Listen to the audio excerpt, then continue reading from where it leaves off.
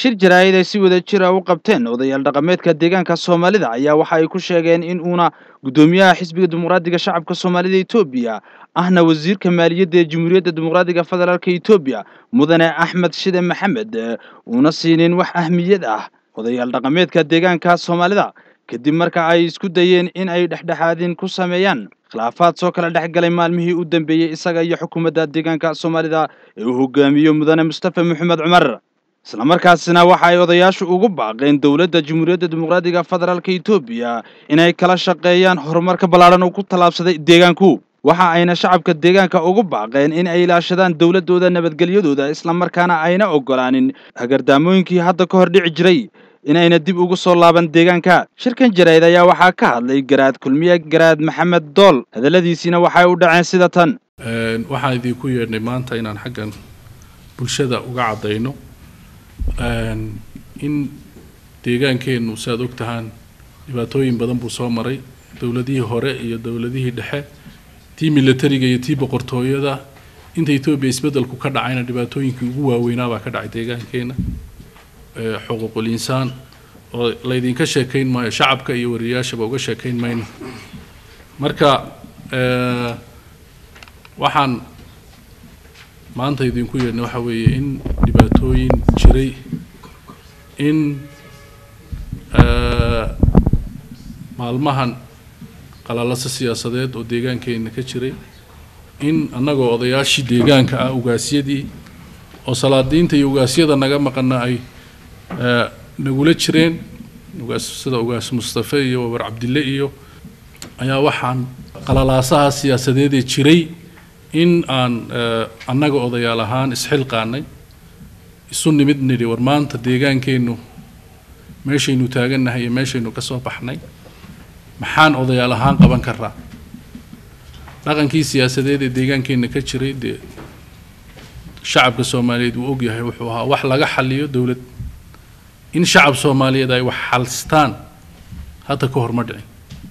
Si taariikh cusub u bilaabato khilaafka xisbigeenna iyo dhibaatooyinka ka jira dhexdeenna in la xaliyo ayaan isweydiinay odayaal ahaana waan isla qaadanay. Waxaan isla qaadanay ta koobaad in xalka siyaasadeed uu gacanta ummadda soomaaliyeed ku jiro. Kadibna aanu qaadanno inaanu anagu dhexdhexaadintaas samayn. Laba in intaanu u baahanayna cid kale. In annagu u yeedhanayna mooye in dadka kale ay naga joogaan inaan khilaafka iyaga annagu dhammaysano annagu se aad ogtihiin odayaal dhaqan baa nahay siyaasiyiin ma nihin laakiin dalka odayaashoodii baa nahay cidduu dalkani ka burburayo ayaa nahay. Dhibaata hadday timaado kuwii loo yeedhayaa nahay marka intayna dhibaata iyo burbur inagu iman ayaanu u kacnay inaanu howlaha qabanno waxaanu la hadalay garabadiisa hayay ee xisbiga dimuqraadiga ka wada tirsanaa. Ee uu dhinac yahay guddoomiyaha xisbigu mudane axmed shide ahna wasiirka maaliyadda iyo madaxweynaha deegaanka mudane mustafa maxamed cumar iyo ku-xigeenkiisa mudane aadan faarax. Waxaanu la hadalnay annagoo laba boqol oo odaya. Mudane axmed shide waxaan nidhi odayaashaadii baan nahay. Waxaan rabnaa khilaafkan maanta soo baxay in la dhammeeyo. Oon annagu soomaali ahaan ku dhammayno idi wada hadashiino annagoo odayaashiiniya axmed uu naga aqbalay wuxuu yidhi waan aqbalay odayaashaydii baa tihiin waan yeelay. Waxaan u tagnay mustafe iyo ninka la yidhaahdo aadan. Iyagana waan u bandhignay. Waxay yidhaahdeen waan aqbalay waan idiin imanaynaa axmed waxaan isku ogeyn inuu daraad baan la hadalay inuu shalay yimaado. Ama berri ama saa dambe aroortaan iman buu yidhi. Annagoo saa isku og oo xiisaddii siyaasadeeda deegaanka iyo dadkii ay yar degtay ayaa saaka markaanu la hadalay wasiirku wuxuu yidhi waan idiin iman doonaa. Waxaanan ogeyn inuu maanta ama berri toole shalay ama maanta inuu yimaado waxaa noo caddaatay inuuna marka wasiirku noo soo socon uu dhayalsaday hadalka iyagii odayaashiisii. Waxa uu dowlad ku yahay uu wasiir u yahay uu guddoomiye u yahay dee waa shacabka. Annaguna shacabka raggii horjoogayaasha u ahaa wasiirka iyagii wey inaan nimaadno arrimaha iyagan khilaafka iyaga dhammaysanno waan isu daynay. In la dhammeeyaan isku daynay. Waxaasoo dhan axmed muuna dhag noo dhigin. Uuna yaraystay uuna yaraystay waan ku celinayaa dhanka kale waxa uu garaadku shacabka ugu baaqay in ay taageeraan xukuumaddooda waxa ayna si wada jir ah uga soo jeediyeen baaq. Waxa uuna u dhacay sida tan. Annagoo odayaashii waxaan xaggan ka caddaynaynaa in isku daygii wadahadashiintii khilaafka in la dhammeeyo in dhanka wasiirka axmed shide uu ka socon waayo guddoomiyaha xisbiga in shacabku ogaado. Waxaanan leenahay wasiirku uuna yaraystay nama ictiqaadin ugaasyadiisii odayaashiisii iyo salaadiintii iyo garaadadiisii uu naga hoos kacay in ay arrinkaasi soomaali dhammaysato axmed uu diiday.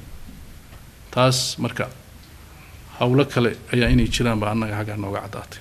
Waxaan xaggan ka caddaynaynaa oo kale shalay tole deegaankeennu august four wixii ka dhacay waad ogtihi xisbigan ummadda soomaaliyeed baa dhisatay.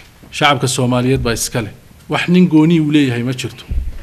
Xubnihii dowladdii hore iyo xisbigii nimankii hore ku jiray waa magaaladay xukumeen iyo deegaankay xukumeen kuwii boobay kuwii boobay ee dhammaystay ee sidaa guuldarrada iyo xuquuqul insaanka iyo dadka la kufsaday iyo dadka la dilay. Dadkii sameeyey. In maanta haddana xisbigii ay sii ahaadaan maayahanba waanu ka hadlayna taa dhaliil weyn weyn.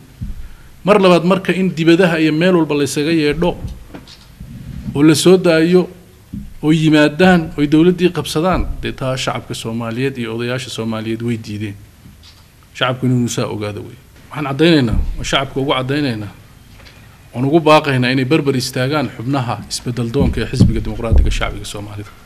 Rabaa inuu isbedelo rabaa in ummadda soomaaliyeed masiirkeega iyadu ka go-o haddii wax dooranaysa iyadu ka go-o nolosheeda iyo horumarkeega iyo dhulkeega iyo diinteedana difaacaya in maanta laysku quuqiyo hebel salaaduu tukadaa hadduu salaada tukadana waa tuug waa waa urur hebel taasi dee xilligeyga way dhammaatay. Marka shacabka waxaan ugu baaqaynaa in xubnaha isbeddel doonka ah ee xisbiga dimuqraadiga shacbiga soomaalida ay berber istaagaan nabadgelyadoodan ilaashadaan iyaguna ay hiil iyo hooba u fidiyaan. Afartaa bilood aynu soo dhaafnay ee isbeddel ku yimiday nabad baa waddanku ku seexday. Deegaanka keliya ee ra'iisul wasaaraha sidaad idaacadaha ka maqlayseen loo qiray in uu yahay deegaanka keliya ee nabadgelyaha etoobiya ka ah waa deegaankeenna. Deegaankaasina waxaa keenay ciidanna ma keenin booliisna ma keenin hay'ado nabadgelyo keenay ma jirto shacabkaa keensaday. Nabadgelyadu waxay tahay isagaa garanaya. Shalay waxaanu soo marraanu garanaynaa dhibaatooyinkii nagu dhacay baanu soo garanayna. Marka shacabka soomaaliyeed waxaan leenahay nabadgelyadiisa ha ilaashado. Nabadgelyo darro ma jirto deegaankeenna ka taagan. Oo daraf ilaa daraf annaga iska daa soomaalida ahe etoobiyaankii kaleo dhan yaa nagu dhex nool oo na dhex socdo. Annagana kilil kaloon maanta ku nool nahay ma jiro. Sideedda kilil oo kale maanta hal ruux oo soomaaliya ku nool ma jiro. Waan soo wada qaxnay halkala fadhinaa. Marka intaa yar in nalaga burburiyo midaan qaadan karra ma aha. Midaan aqbalaynana ma aha. Waxaan codsanaynaa shacabka soomaaliyeed inay arrintaa u istaagaan nabadgelyadooda ilaashadaan aan laga burburinin oo wixii horena loogu samayn jiray aanay nagu soo noqonin mar dambe. Oo cidna soo faragelisaa aanay jirin. Dowladda federaalkana mar labaad iyo mar saddexaad waxaan ku celinaya ku celinayaa inay howlahaas iyaga oo burburinta ah aanay ka qayb qaadanin oo aanayna faragelinin oo annaga aan xalkeenna dhammaysanno sacad cabbaas cali star t v jigjiga